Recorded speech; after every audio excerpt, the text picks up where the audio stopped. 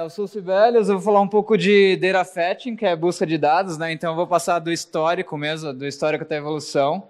Vou começar pelos hooks, que são bem simples, né? O life cycle. Depois eu vou para o relay, suspense, essas coisas mais modernas do React.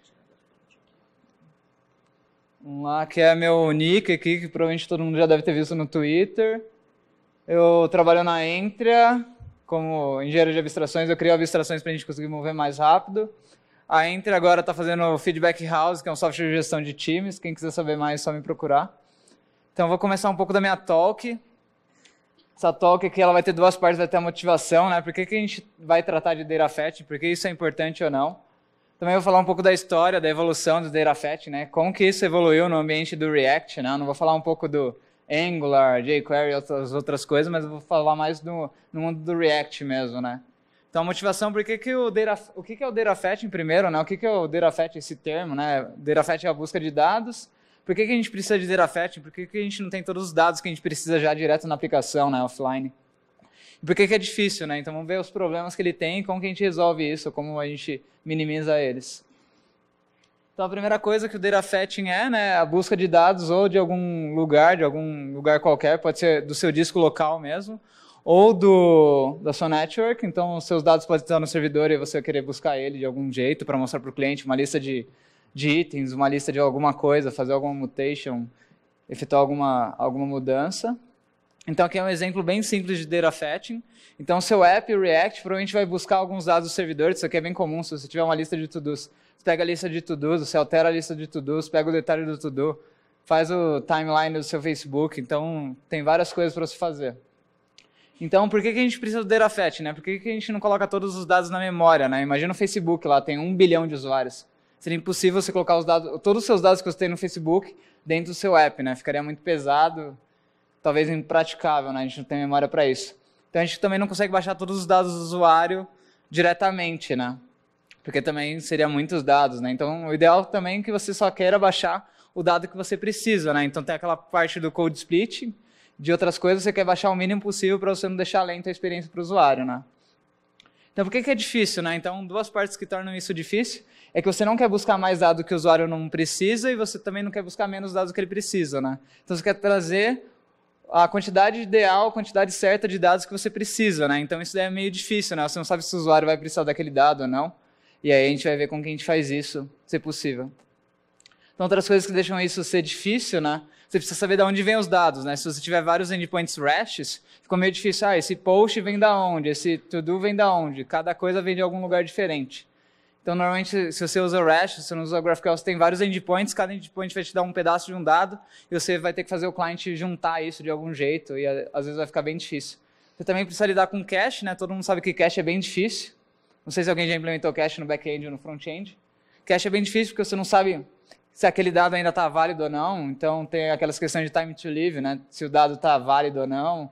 Imagina um banco, né? Mostrar um saldo errado, mostrar alguma coisa errada, pode dar bastante problema. E você precisa de cache para você não ficar buscando o dado toda hora, né? Então, você quer cachear algumas coisas, mas também não quer mostrar dados inválidos, não. Então, outras coisas tornam isso difícil, atualizações automáticas, né? Então, quando você usa o Facebook, o Google, o Twitter, alguma coisa, eles têm essas atualizações automáticas que é assim, quando você dá um like no tweet ou um like num post do Facebook, ele já deu like. Você já viu o like, já tem a impressão que já deu certo, mas no final ele tá, ainda está aplicando essa, essa, essa mudança no servidor, né? Então, essa coisa é meio difícil de implementar se você não tiver um framework robusto. Essa parte de offline também é bem difícil. Não sei quem já implementou offline. Offline é uma das coisas mais difíceis, né? Que depois você tem que fazer o sync do, das mudanças que aconteceu offline, é bem difícil. Local First Architecture é uma coisa nova também, não sei se bastante gente tem essa, já leu sobre isso, mas a ideia é que seus dados tem, estejam primeiro na sua máquina, que os dados são seus e depois você replica no servidor. Então a ideia é que você não tenha loading, né? Como todos os dados, tudo acontece na sua máquina primeiro e depois você replica, fica uma interação um pouco mais legal. Real time também, então real time também era uma coisa bem difícil, o Meteor começou a tentar deixar isso mais fácil, tem outras coisas mais legais hoje, GraphQL Subscriptions, Server-side rendering também deixa essas coisas um pouco mais difíceis, que você tem que buscar o dado antes de renderizar. Normalmente no front-end você renderiza, depois busca o dado, né? Isso daí causa alguns problemas. Então eu vou falar normalmente como que é feito isso, ou como vem sendo feito isso ao longo de vários anos, assim, e aí eu teve alguns frameworks, Relay tentou mudar isso em 2015, né? Então, o imperativo data fetching é que você tenta buscar os dados imperativamente. Então, você diz passo a passo o que você tem que fazer. Então, você diz qual, qual endpoint você vai buscar o dado, como que você vai cachear, como que você vai salvar esse dado, vai ser na store do, do Redux, vai ser no state, vai ser em um context, como que você vai invalidar esse dado, como que você, quando você vai fazer né, o data fetching, você fala quando, ah, eu quero buscar quando o componente renderizar, quando isso mudar, quando isso acontecer. E acaba que você tem que fazer isso para todos os endpoints, para todos os lugares, e acaba ficando bem maçante. Em vez de você focar no business logic, né, na lógica de negócio, você fica perdendo muito tempo em buscar os dados e renderizar os dados, enquanto você deveria estar focando mais no cliente. O que mostrar para o cliente? Mostrar um UI, UI legal, né? Então aqui é um exemplo de imperativo data fetching, bem simples, provavelmente todo mundo já viu isso. Então aqui você tem uma URL, você tem os headers, você faz um, tem um options aqui, eu estou fazendo um get, estou fazendo um fetch aqui bem simples, e aí eu busco meu dado. Então, para cada endpoint, para cada resource, para cada recurso que eu quero mostrar, eu vou ter que fazer toda essa lógica. Então, fica muita coisa duplicada, repetitiva. Tem que decidir quando fazer isso, qual componente vai precisar desse dado ou não, fica bem difícil. Tem que pensar muito, né? Então, eu quero, eu quero uma solução que a gente tem que pensar pouco e, e esteja correta, seja mais otimizada, né? Quando você muda o paradigma de imperativo para declarativo, você ganha bastante coisa, né? O, o React, ele, ele trouxe isso do declarativo, né? Você diz como que o DOM vai como que, como que você quer o dom e o React vai dar um jeito de chegar naquele estado. Né? Então, declarativo você diz o que você deseja e ele vai fazer todos esses steps para você por trás. Né? Então, declarativo data fetching, essa parte declarativa, você define quais dados cada componente vai precisar e aí ele vai dar um jeito de buscar esses dados. Ele vai fazer o fetch usando o seu network layer ou não. Então, o Relay e o Apollo eles trouxeram essa ideia de você definir quais dados cada componente vai precisar e aí você vai renderizar o dado correto. Então, por exemplo, eu tenho um componente que vai renderizar o, o usuário. Ah, eu preciso do nome e da foto do perfil dele. Então, eu defino isso, o relay ele vai dar um jeito de buscar esses dados para mim. E aí eu não preciso me preocupar se vai ter cache, se não vai ter cache, se o dado está atualizado ou não, como que ele vai buscar. Ele simplesmente resolve para mim o problema. Então aqui é um jeito mais declarativo, né? Então, por exemplo, eu estou implementando o to-do, como todo mundo né, já fez algum dia. Então eu vejo o ID do to-do, o texto do to-do e se ele está completo ou não. Então aqui eu fiz um fragment de GraphQL, não sei se todo mundo conhece, mas é um pedaço do, de algum dado. O que eu estou falando, eu quero esses dados do to-do, né? Do tipo to-do, eu posso ter um tipo user, tipo post, vários tipos, né? Então é bem mais declarativo, bem mais fácil. Eu não preciso pensar de qual endpoint que vai vir, como que vai vir esse dado, o Relay, o nosso framework, ele vai simplesmente resolver isso para a gente. Então eu vou falar um pouco da, da história, da evolução, então todo mundo, sei lá, que já tem bastante tempo no React, já conseguiu ver esse component de mount, né, que é bem clássico, né? Então, fazer data fetch no React no começo era bem todo mundo usava essa abordagem. Ah, vamos buscar o dado assim que a gente renderizar o componente, né? Então, ou o mount, né, se você gostar de mudar isso. Então, você tem aqui o component de mount, coloca até o async aqui, né, se você gosta de async await.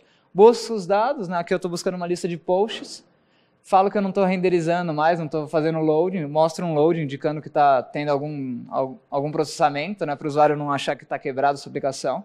E aqui você faz o set do seu data, dos seus posts, e mostra para o usuário. Né? Daí é legal, funciona, mas tem algumas, algum, alguns problemas com essa abordagem. Né? Um dos problemas você tem o Class API, né, que a galera está mudando disso. Acho que fun componentes funcionais, né, só usando functions fica cada vez mais simples a lógica ela fica meio que solta no seu life cycle. Ali eu coloquei só o did mount, mas se você quiser desmontar e desfazer alguma coisa do cache, você teria que fazer essa lógica em vários lugares, fica bem difícil. A API é imperativa, então você tem que decidir quando, da onde, qual dado você quer buscar, né? Tem também essa coisa de você renderizar e depois buscar os dados. Então, você tem um request waterfall, vou falar um pouco de request waterfall, que é como se fosse uma cascata de refetch. A gente vai ver por que isso é ruim, traz uma experiência ruim. Você também pode ter algumas race conditions que você pode fazer um set state depois que o componente foi desmontado. Então você começa a buscar um dado, o componente é desmontado da árvore, você deveria cancelar esse request. Né? Às vezes você não cancela, e você vai fazer um set state no componente desmontado e a gente sabe que não, não é possível fazer isso. Né? Não, é, é fazer isso. Então aqui eu vou falar um pouco do request waterfall, que é essa cascata de, de código. Então normalmente você primeiro busca o código, você faz o code split, você tem que buscar o código, e depois que você buscou o código, processar aquele bytecode JS, você vai buscar os dados. Né? O ideal seria você fazer isso ao mesmo tempo. Né? Então aqui seria o request waterfall que a gente tem normalmente na maioria dos apps. Né? Então primeiro você busca o código aqui. Depois que você buscou, você teria que ter uma parte de processar esse JS, esse bytecode. Você carrega os dados, depois que você carregou os dados, você vai renderizar. Você pode ver que é uma experiência bem ruim, né? Ele tem que esperar buscar o código, depois esperar vir os dados, depois esperar renderizar, né? Fica bem ruim. Se a gente conseguisse fazer essa etapa junto com essa, seria incrível, né? Então, vou falar um pouco do Redux Tank. Todo mundo já usou Redux, né? Então, aqui tem um exemplo. Você tem umas actions. Aqui eu fiz um tanque. Você faz uma action. Ah, vou buscar o dado. Aqui eu terminei, deu certo. Aqui eu terminei, deu errado. Então, a desvantagem disso é que é imperativo.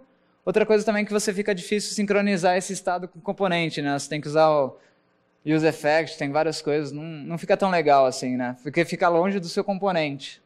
Vou falar um pouco do Saga também, que é bem parecido com o outro, então eles têm o mesmo problema do, do Redux Tank, então todos os problemas que você tem lá no Tank, você vai ter aqui no Saga também, que é a, praticamente a mesma abordagem do Redux. Você, é imperativo, você tem que fazer as mesmas, essas mesmas condições sempre, sempre. Se você tiver N endpoints, você vai ter que fazer N, N actions, né? Fica bem maçante. Mesma coisa disso falar um pouco do use effect, né, que é uma coisa mais nova. Então, a gente vai buscar o dado quando fizer um efeito, né, quando fizer um commit no commit phase do React, né? Então, vamos ver como ficaria isso. Fica um pouco mais, talvez, talvez até um pouco mais legal. Tá usando nada de dependência, provavelmente está errado. Tem que ter uma dependência aqui para para mudar, para refazer esse efeito ou rebuscar os dados quando mudar alguma coisa. Que eu estou buscando uma lista de posts quando terminar, eu seto o dado, seto o state do use state, senão seto um error aqui. E aí eu busco o dado aqui. Esse código aqui, esse hook tem milhares de defeitos. Né? Não diria defeitos, mas tem diversos casos edge cases que ele não resolve. Né? Por exemplo, se eu desmontar, ele vai tentar fazer um set state que não deveria. Se mudar esse request, ele vai citar um dado errado. Então tem vários problemas nesse código simples que o useEffect eu teria que lidar para realmente ficar robusto. Então aqui ele é imperativo, eu tenho que lidar com loading, com error, se está montado, se não está, vou ter que cancelar o request se o componente for desmontado. É difícil também de lidar com essas race conditions, as condições de corrida, né? O que seria uma condição de corrida, né? Vamos ver, uma condição de corrida seria mais ou menos assim. Você digitou Macron antes, e aí depois você digita o Trump, e no final ele mostra os resultados do Macron, porque você digitou tão rápido, ele ficou meio...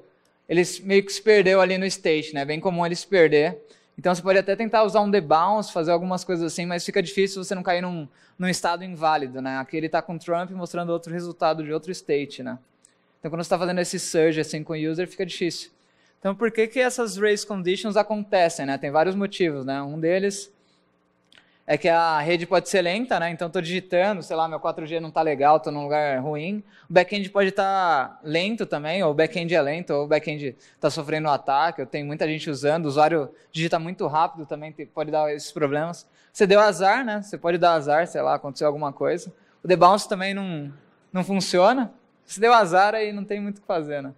Debounce também não é suficiente, você acha que o debounce vai funcionar, mas às vezes ele, ele acaba se perdendo. Então vamos ver como que a gente resolveria isso, né, de um jeito talvez simplista. Talvez resolve parte, mas não resolve tudo. É você ignorar todas as, as requests que você fez. Então, você sempre ignorar as requests e deixar só a última, né? E você vai cancelando essas requests, só deixa a última request para ver se você consegue resolver. Às vezes dá errado. Então seria isso. Tem essas duas libs aqui, esses dois packages que ajudariam vocês a lidar com isso. Então ele tenta abstrair toda essa complexidade, toda essa coisa maluca aí que eu falei aqui, ele tenta resolver isso para você, né? Mas também não é suficiente. Se a gente conseguir deixar mais fácil para o usuário não dar o tiro no pé, né? Vamos ver se a gente consegue. Então, eles removem alguns pain points, né? alguns problemas que a gente tem, mas ainda assim, eles lidam com esse estado para você, mas você também tem que mostrar o loading, você tem que mostrar o erro, você tem que lidar com esses casos que deu errado, que não deu. Então, você ainda tem que fazer muito trabalho, né? Então, vamos ver se a gente consegue melhorar um pouco. Aqui o relay, relay rock, né? Então o relay ele tem esse rock aqui que você consegue definir que, o, que esse componente precisa desses dados. Então tem um post aqui, eu vou precisar do ID, do title, do description, e o relay ele vai dar um jeito de chegar esses dados no, no meu componente de post. Como que o relay vai fazer isso? Ele tem um network layer e vai buscar para você usando o seu GraphQL. Se não tiver GraphQL, não tem como, porque fica bem difícil de resolver, né? Então, ela, ela, é declarativa, que é aquilo que eu tinha falado no começo. Ela tem esse conceito de data components, então os dados ficam atrelados ao componente, eles ficam colocados ali. Então, se você eh, mover, refatorar seu componente, ele não vai quebrar, que ele sempre vai renderizar corretamente, então isso é bem legal. É, aqui eu explico um pouco como que ele funciona, né? A ideia é que cada, cada componente define o que ele precisa. Ah, o product precisa dessa parte, o cart item precisa dessa, o cart precisa desse azul. E o relay ele vai juntar essas coisas sem que um componente saiba do outro e vai fazer a query final e vai mandar para o servidor. Então isso daqui é legal, que eles ficam desacoplados, né? Ah, o product só vê o verde, o cart item só vê o vermelho e o cart vê o azul e um não precisa saber do outro e vai dar certo, né? O relay vai dar um jeito de chegar aos dados corretos lá. Então tem alguns drawbacks do Rock, né? Todo, que é o drawback de todos os Rock, né, que a gente tem. Então você tem mais componentes na árvore, então você vai ter componentes para lidar com esses estados, com esses estados de buscar dado, de pegar os frames ou não. E tem uma render própria API também, que é o query render também, que não é tão legal. E para tipar rock é bem difícil. Se alguém já tentou tipar rock com Flow, com TypeScript, vai ver que é bem difícil. E hooks é bem mais fácil, né? Agora eu vou falar um pouco da, da evolução. Aqui já chega um pouco mais na parte mais nova, numa parte que provavelmente pouca gente explorou, né? Uma parte bem nova, bem, diria, um pouco instável do, do Relay, vai, do, do React, né? Vai ter mais informação disso semana que vem na ReactConf do Facebook mesmo. Aqui eu vou passar um pouco da ideia do suspense para ver se fica um pouco mais claro e como que a gente consegue usar o suspense para melhorar nosso data fetching, né? Então, suspense ele deixa você suspender uma árvore de componentes enquanto ela estiver esperando algum dado, né? Então, ele, enquanto você estiver esperando, ou ele não renderiza nada, ou ele vai renderizar um fallback naquele lugar. Ele vai renderizar um load se demorar demais, né? Então, é basicamente esse slide aqui que eu acho bem legal. Você tem o seu app, o navigation, o main, e esse post ele está esperando o dado. Então esse cara a gente não vai renderizar agora, a gente vai não vai fazer nada com esse cara. Enquanto não tiver o dado que ele precisa, a gente não vai fazer nada, a gente vai parar, a gente não vai ter trabalho, né? Então seu app vai ficar muito mais leve renderizando as outras coisas enquanto seu post não tiver resolvido os dados, né? Aqui foi uma talk bem legal do Aware, um cara do Facebook, eu achei bem legal, peguei um, um slide dele para simplificar a explicação. Então, suspense, normalmente, você pode usar o suspense também para code splitting, né? Para code loading. Então você coloca o seu componente aqui usando o React Lazy, coloca o suspense fallback, e ele só vai renderizar esse loading se o componente demorar muito para renderizar. Então a ideia é se você tiver uma internet muito rápida, você não mostra o loading, né? Ficar mostrando mão de, de load também não é uma experiência muito legal para o usuário. Então o suspense não resolve só a busca de dados, né? Ele resolve a busca de código. Então buscar o código também é uma parte importante de buscar, buscar as coisas, né? Ter uma experiência incrível de, de UI para o usuário, né? Então aqui eu tenho o Derafet para o suspense, talvez está um pouco pequeno, não sei se eu vou conseguir aumentar um pouco. Ah, deu. Beleza, tenho esse resource aqui, está tudo em unstable, né? Eu crio um resource que vai buscar um, um post por um ID. Aqui eu consumo ele na minha API, no meu componente. Eu, eu leio, uma parte legal disso é que você lê um post, você faz um fetch async de um jeito sync, né? Você pode ver que não tem nenhum async aqui, ele é sync. O que, que o React vai fazer? Ele vê que esse dado está faltando e ele vai parar de renderizar esse cara. Quando ele voltar, ele vai renderizar, ele vai renderizar esse componente, esse app. Então ele permite você lidar com coisas async de um jeito sync, né? Então essa daí é a sacada do, do suspense, você lidar com coisas async de um jeito sync. Bem legal. Aqui tem um código do suspense, não sei se ficou muito é tão explicativo, tentar usar essa, essa máquina de estado. O Suspense ela tem uma API um pouco controversa, né? Que ela, ela trabalha com promise. Então, se você tiver uma promise pendente, algum fetch pendente, você vai dar um throw na promise. Então, se você dá um throw na promise, raramente a gente dá um throw numa promise, né? Eu acho que ninguém nunca fez isso. Parece bem controverso. Mas a ideia de dar uma throw na promise é a mesma ideia de dar um throw num error, né? Aquele suspense nada mais é do que um catch, como se fosse um try catch, né? Então, o error boundary vai pegar o erro e o suspense vai pegar todas as promises e vai lidar com ela. Né? Então, quando a promise for resolvida e der certo, ela resolve e renderiza o componente. Se ela for rejeitada, você renderiza, você dá um throw no error e aí renderiza o componente de erro. Então, é, a ideia do suspense é como se fosse um try catch para o seu data fetching, para as suas coisas async. Né? Aqui eu fiz um, um algoritmo aqui bem simples. Ele tenta ler o dado do cache, que é aquele unstable resource, se tiver pendente, ele faz o throw da promise e o React vai suspender seu componente, ele vai renderizar só assim que a promise resolver. Se, a, se o seu request for rejeitado, ele vai dar um throw no error e seu error boundary vai renderizar isso. Se a promise for resolvida, o React ele vai lá e renderiza seu componente de novo, já com os dados está certo. Enquanto isso não acontecer, ele vai ficar nesse loop, né? Tá bem interessante, bem simples, né? Então, o benefício do suspense é que você não precisa ficar tendo mais aquele state de loading. Ele também só mostra o loading quando, quando você precisa. Se for muito rápido, ele não vai, ele não vai mostrar o loading. Se já tiver no cache, não mostra o loading. Ele também transforma o async em, em síncrono, né? Então, essas coisas que eram assíncronas, data fetching, essas coisas, vai transformar em sync e acaba trazendo um, um código um pouco mais simples. Aqui eu vou falar um pouco de uma coisa ainda mais nova, que é os hooks de relay com suspense como que esses hooks vão deixar cada vez mais fácil. Então a gente vai trazer essa, a parte legal do Relay Hooks para o Hooks e ainda adicionar suspense para ficar mais incrível. Então o Relay Modern ele, ele, tem dois resources, cada resource é para lidar com os, com os dados que podem ser cacheados, que podem ser suspensos. Né? Ele tem um Query Resource que vai cachear, vai cachear as queries e aí tem um Fragment Resource que vai cachear os seus fragments também. Eu coloquei essa coisa aqui que é bem instável assim. Só recomendo usar se tiver coragem. Pode quebrar, vai quebrar sua aplicação se você não souber o que está fazendo. Então aqui é uma API um pouco mais legal, né? Você pode ver que agora não tem aquele query handler, você já tem o use laid load query, então esse cara vai carregar a query para você dentro do seu componente. Então quando ele renderizar, ele vai pegar o data. Então você pode ver que não tem slowing aqui, né? Esse componente não está mais não tá muito preocupado com o slowing nem com um erro inesperado, né? Ele simplesmente assume que quando ele renderizar vai dar certo, né? Então é bem interessante. E aí você tem esses, esses dois caras aqui que você tem que renderizar para pegar ou o suspense, que você coloca um suspense que seria o seu loading aqui, ou você renderiza um erro boundary com retry, né? Esse retry justamente é se deu algum erro, se o servidor caiu, você renderizar o componente de novo, né? Depois eu posso tentar dar uma ampliada aqui. Então ele é um error view que tem esse, esse, tem esse retry aqui, e aí você consegue renderizar o componente de novo para ele tentar fazer o fetch de novo e ver se vai dar certo. Código está online também, eu posso compartilhar. Aqui o use frame, use fragment, né? em vez de ser aquele create fragment container, você tem um fragment também que você consome o dado daqui. O legal também dessa API é que o fragment, cada fragment consegue ser suspenso, né? Então, se eu busquei uma query e alguns fragments já estão prontos e outros não, eu suspendo alguns e não suspendo outros, né? Então ele vai renderizar muito mais rápido os dados que eu já tenho, né? Então isso daí é bem legal.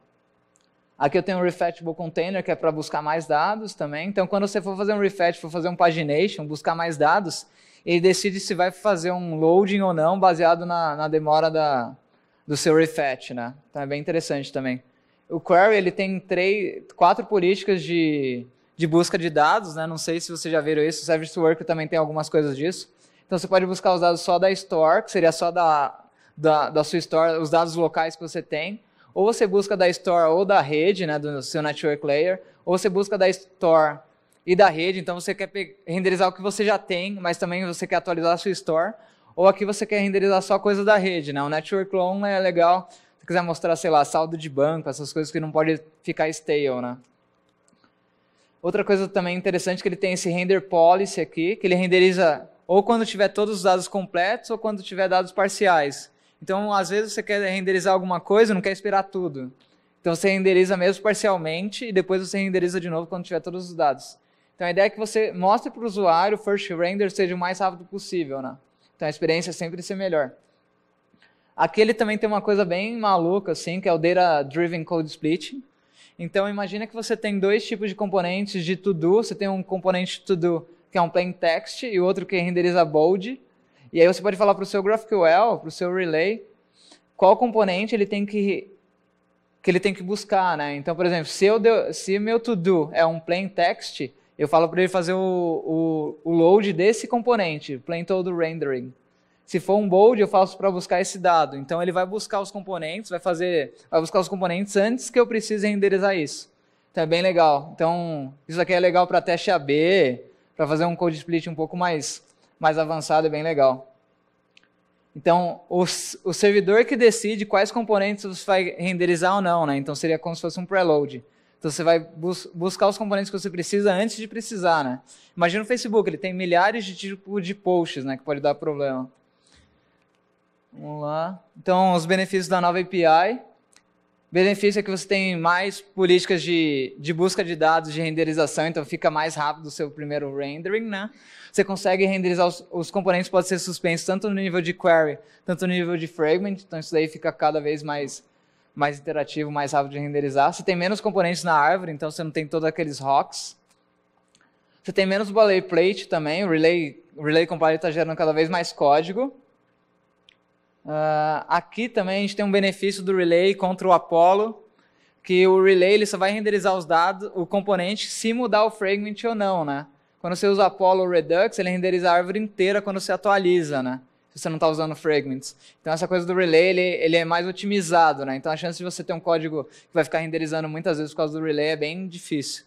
Você tem esse Data Driven Code Splitting, que é uma coisa que eu acho incrível, assim, para você fazer feature flag, fazer teste AB que eu acho bem legal, bem avançado. Uh, aqui eu tenho uma pergunta se a gente tem que suspender no refetch, né, se você vai suspender ou não. Aí o relay ele tem dois jeitos, você pode paginar bloqueando ou não bloqueando, né? Bloqueando você mostra o load, não bloqueando você não mostra nada, você só espera o usuário. Também coloquei essa API unstable aqui do scheduler também, para você rodar alguns dados com outra prioridade, que é aquela coisa do concurrence mode, ainda tem pouca informação resolvi não aprofundar muito nisso, mas só deixar aqui para dar uma olhada lá no código do React. As próximas coisas legais, né, que provavelmente vai acontecer. Algumas coisas já vão acontecer semana que vem, né? Eu acho que vai ter o stable React Suspense semana que vem. Vai ter o stable do Relay Modern Hooks. Ah, o Scheduler também já tem algumas APIs, soltaram dois hooks lá que eu achei bem legal. E ainda falta algumas coisas defer, string, algumas coisas avançadas do GraphQL do Relay também. Uh, aqui eu coloquei diversas referências, assim, vários links legais para vocês darem uma lida assim, sobre essas coisas mais novas, tem bastante link. Uh, a gente está contratando também, entra, contrata você, fica fácil. Aqui vocês podem dar um feedback para mim dessa talk depois, se vocês acharam legal, se tem algum ponto para melhorar, e assim vai, né? Se alguma parte não ficou legal. Acho que é isso, galera. Esse tópico é um pouco. ficou meio longo, assim, mas é bem, é bem extenso mesmo. Tem mais coisa legal para abordar ainda. Valeu!